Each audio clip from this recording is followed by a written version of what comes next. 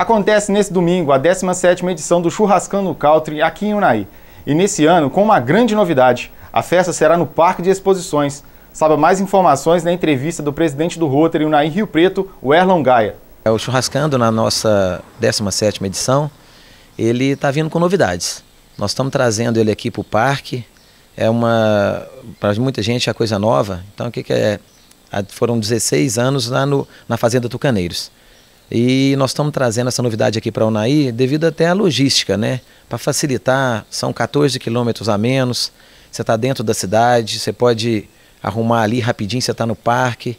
E uma, algumas novidades que, vamos, que nós vamos trazer, por exemplo, lá na, na fazenda a gente não tinha como levar um, a estrutura do pula-pula do Adão, que nós vamos levar toda a estrutura para lá, as famílias podem levar os filhos, crianças até 12 anos não pagam nada. Nós teremos lá o Fabrício cantando pra gente, dando uma palhinha. O DJ é o Luciano Cruz. E teremos como atração principal a dupla Rick Rangel de Brasília. Uma dupla muito conhecida aqui na cidade. Eles vêm muito aqui em Unai e sempre fazem shows bons aqui. E nós esperamos que eles façam também um show bacana aí, que será sucesso no nosso Churrascando Country. E qual a estimativa de público para esse ano? Então, a estimativa é até 4 mil pessoas, né? Para quem não sabe, gente, o Rotary faz essa festa, é, pra, é um cunho, a cunho social mesmo. Nós destinamos toda a renda para as entidades, fizemos uma parceria bacana com as entidades de Unai, as principais, não que as demais não, não vão receber. Mas a gente tá em, trabalha muito forte aí com a PAI, a MEC, o Banco de Cadeira de Rodas e Muletas, que faz um trabalho magnífico aqui na cidade.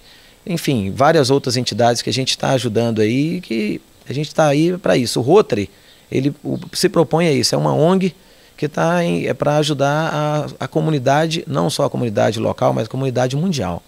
E nós também, eu queria até aproveitar aqui, fazer um convite, se vocês permitirem, que o pessoal vá ao parque, divirta nessa festa. É uma festa que nós trouxemos ela pensando na família onaiense, que o Rotary pensa nisso aí e que nós esperamos lá que você vá, divirta-se, curta a sua, a sua festa com a sua família e que vai ser com certeza uma das melhores festas que o Naí já viu.